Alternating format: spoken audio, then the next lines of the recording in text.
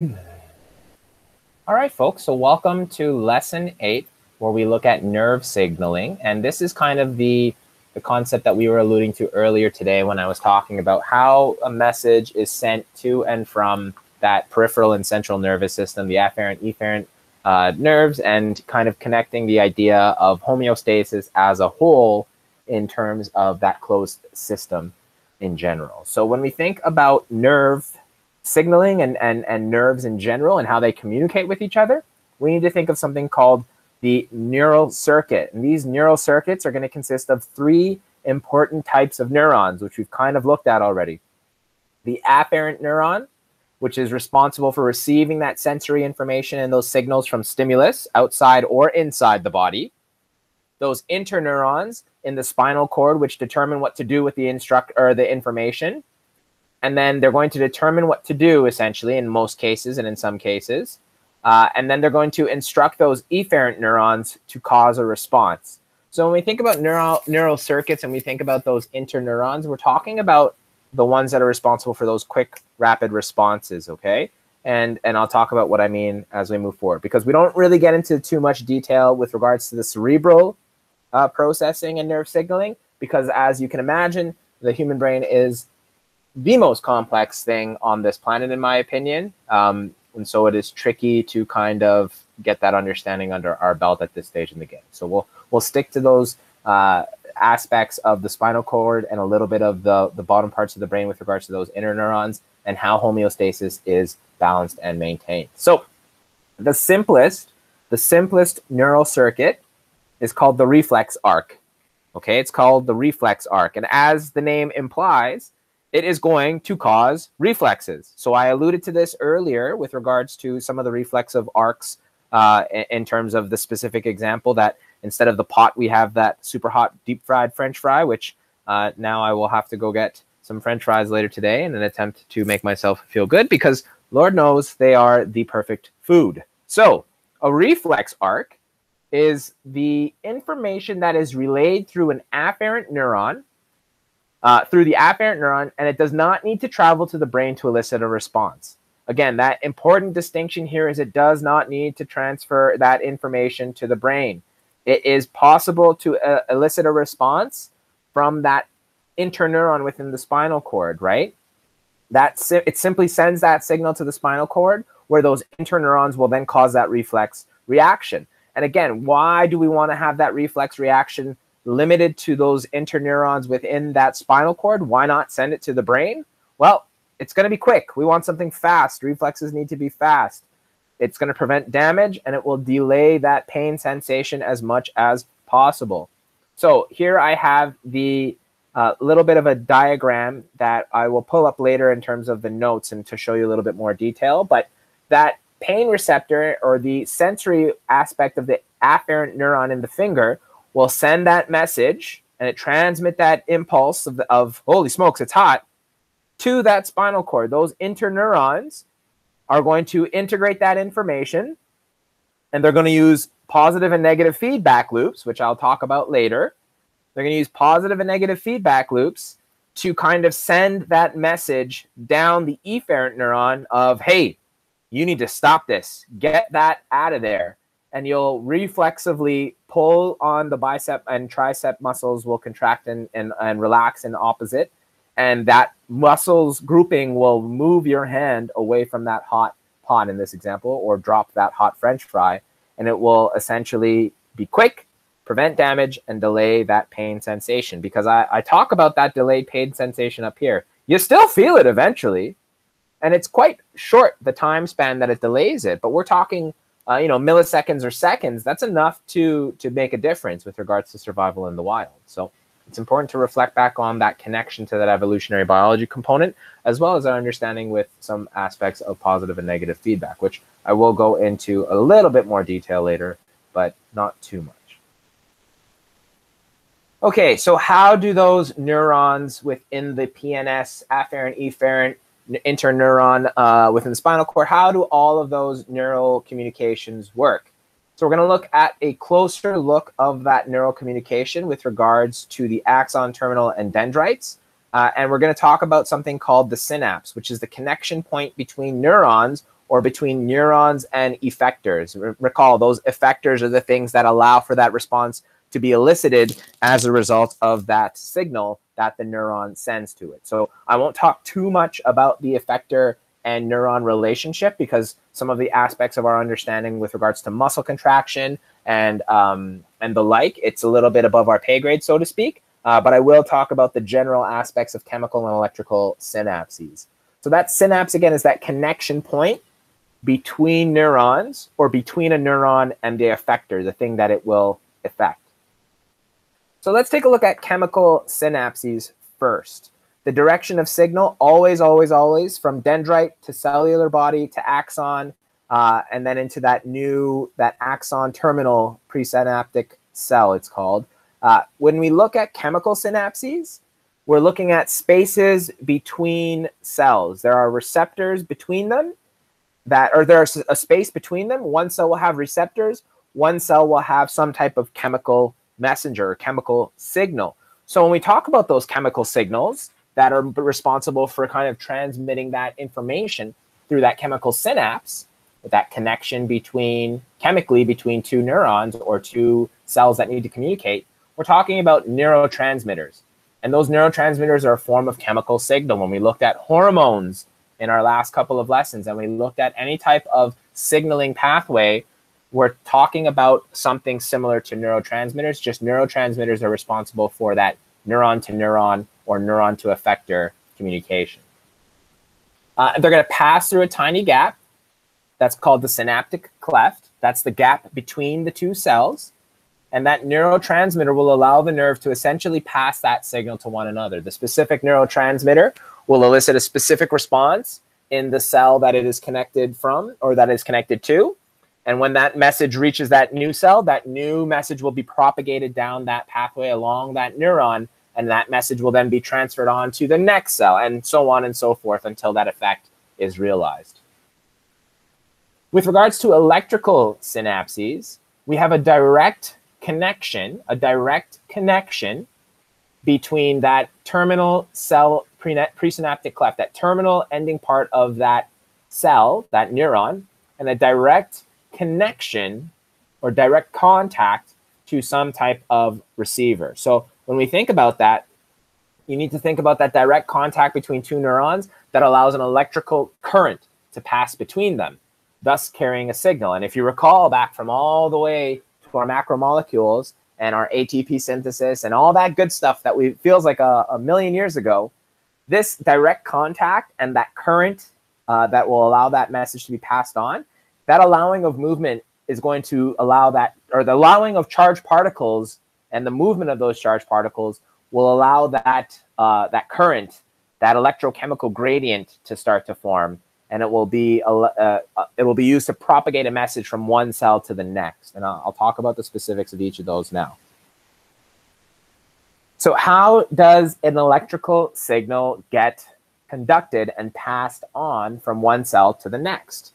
Um, because if you recall back to when we looked at ATP synthesis, that electrochemical gradient was formed within one single cell, and that allowed for the generation of ATP or the generation of other molecules that were used in metabolic processes uh, and what have you. But animal cells have very interesting differences from other cells. And, in the, and the important component is that they differ in that there's a separation of positive and negative charges across their cellular membranes. Again, this is called that membrane potential, the ability for an electrochemical gradient to be formed. It is an imbalance of charges on either side. This is caused by an imbalance of potassium, sodium ions, as well as anions like chlorine and other negatively charged ions.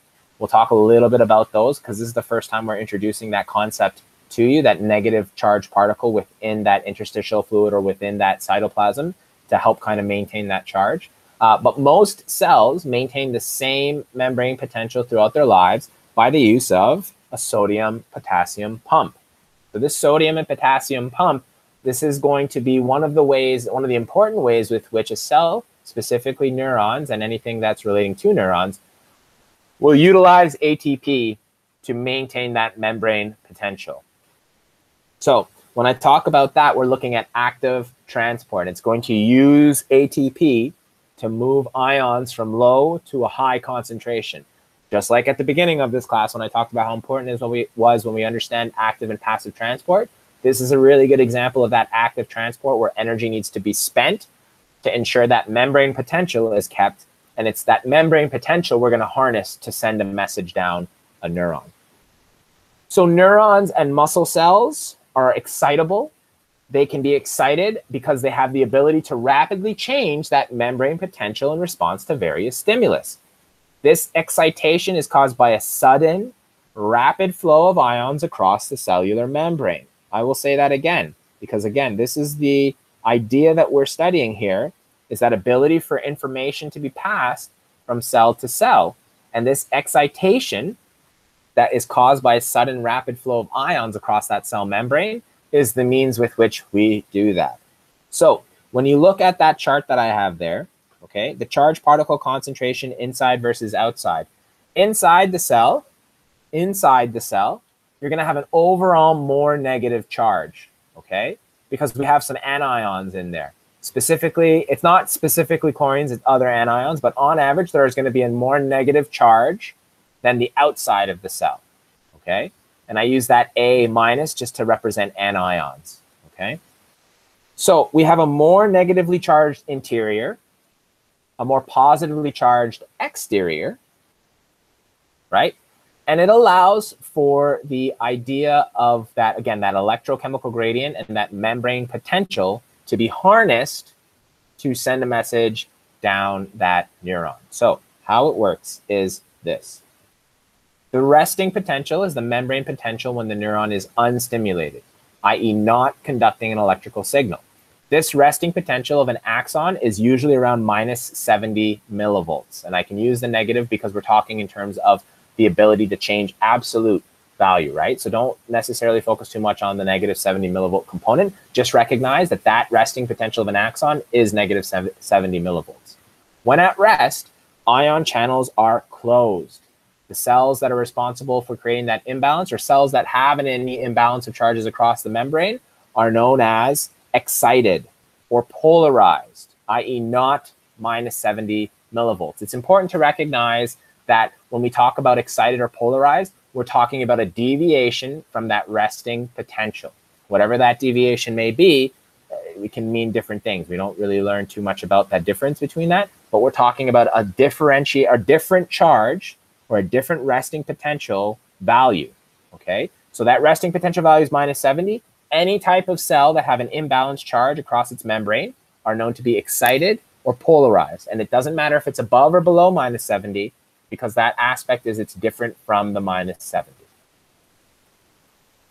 So there's some notes there in 11.2 uh, that you can look at after we finish this lesson, uh, after we finish this lesson, uh, because ultimately it'll help with your understanding of how those uh, resting potentials work. And I'll be happy to answer questions again after this lesson. Uh, but we'll keep going forward and we'll look at the action potential of a neuron because we can connect those ideas a little bit as we go. So when a neuron is excited, the voltage difference across a nerve cell membrane changes rapidly. This change is called the action potential, a change from the rest. Okay, that change from the rest. So phase one, and I think it's broken down into six phases if I'm not mistaken, but I think I only grouped them together. But we'll, we'll, we'll cover that bridge when we get there. So phase one is the initiation of that action potential. So again, recall back to what we've known so far. We have that membrane potential in a neuron. Its resting potential is minus 70 millivolts. That means when all of the ion channels are closed, we have a more negative inside than we do outside, right? That's where that minus 70 millivolts comes from. We have a more negative inside than we do of the outside. So in order to send that signal down, we have to have a change in that resting potential charge, i.e. that minus 70. So phase one is the initiation of the action potential. This action potential begins with a stimulus. And it's important to recognize that that stimulus will cause a positive charge or positive charges from outside the neuron to flow inward, making that inside of the cell less negative. It's caused by chemical or electrochemical, uh, electrical synapse signals, either a neurotransmitter or to that direct contact. and it's going to essentially stimulate that ion channel to open up and allow for more positive ions to flow into the cell. So sodium ions will flow into the cell at that initiation of the action potential. It's going to make it less negative, and this will start the whole uh, initiation of the action potential. This is called depolarization. Depolarization. This continues until it reaches the threshold potential of approximately negative 50 to negative 55 millivolts. Again, we're increasing the positive charge of that inside of the cell, and it's getting less and less negative until it reaches that threshold potential at about minus 50 millivolts. Okay, at about minus 50 millivolts. This is where we can start the whole process of the action potential because now we've initiated it. Step two is the depolarization phase.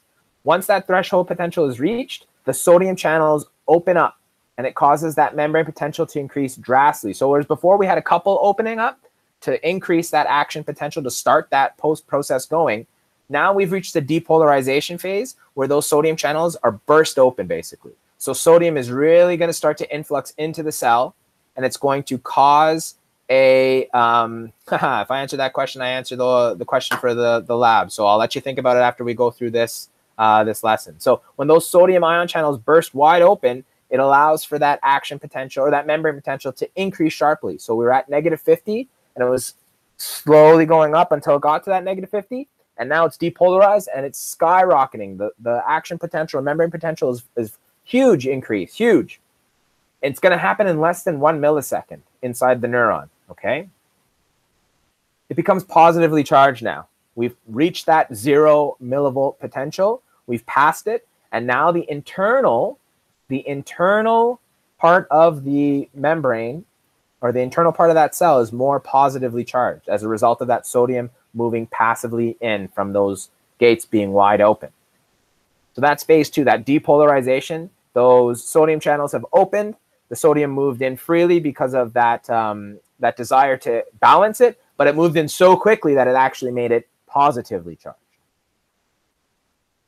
Phase three, we reach, we, we reach something called the peak action potential. This action potential momentarily reaches a peak, approximately positive 30 millivolts. And at this point, the sodium channels will close and become inactive. Well, the potassium channels now can open up and allow that potassium to exit. Because if you recall, the inside of that cell is now more positive. So it wants to, to reach that balance, right? It wants to reach that balance. So it will do so by allowing that potassium to flow freely out. So that sodium and potassium channels will close slash open based on the membrane potential. The potassium channels open at around 30 millivolts, whereas the sodium uh, channels close at around that point. So they, they work in conjunction. So now that potassium wants to leave because those channels are open, the outside is more negative, potassium can easily flow out of the cell, and that will start to decrease or repolarize that neuron. So phase four is those potassium channels open. The outward movement of those potassium ions will cause the membrane potential to fall rapidly, i.e. will move towards the resting potential that minus 70 millivolts. And now phase five, we're looking at the repolarization as a result of potassium channels uh, allowing that potassium to flow out. As it repolarizes and becomes more and more negative from the potassium leaving, we're looking at those channels to start to close slowly, causing the membrane potential to drop even lower than the resting potential. So it drops past that point, and it's called hyperpolarization. And this happens because there's a delay in the potassium uh, ion channels closing once they reach that minus 70 millivolt. Where when we looked at those sodium channels opening and it happens in less than a millisecond, potassium channels take a little bit longer to close. So we see what's called hyperpolarization. It goes past that threshold of minus 70 millivolts. And then lastly, we have something called stabilization. The stabilization is where the membrane potential stabilizes and it wants to return to that resting potential in preparation to achieve the next action potential. It's going to achieve, it's achieved by those sodium and potassium pumps.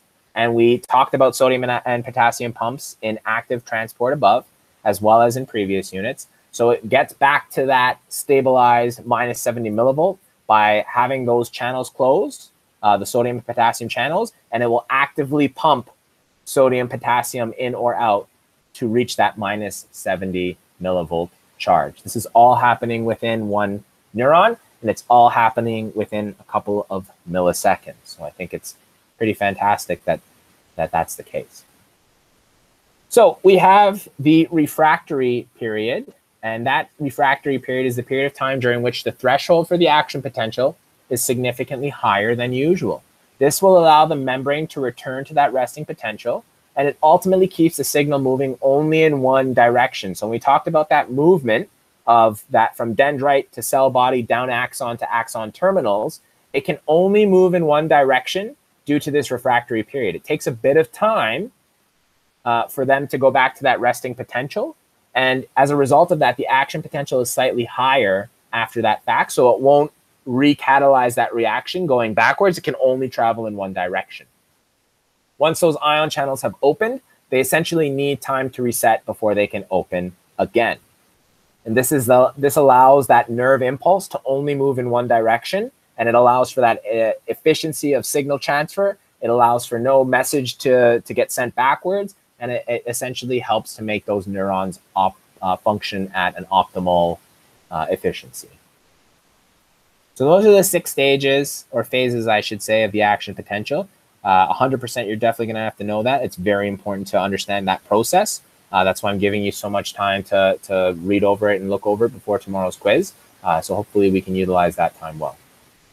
So the last little part that I want to talk about um, is kind of the idea of chemical synapses after I finish tying into the idea of, of that electrochemical um, or the electrical components. Uh, it's important to recognize that those different neurons will have slightly different time frames, and it really depends on the type of neuron and what its job is.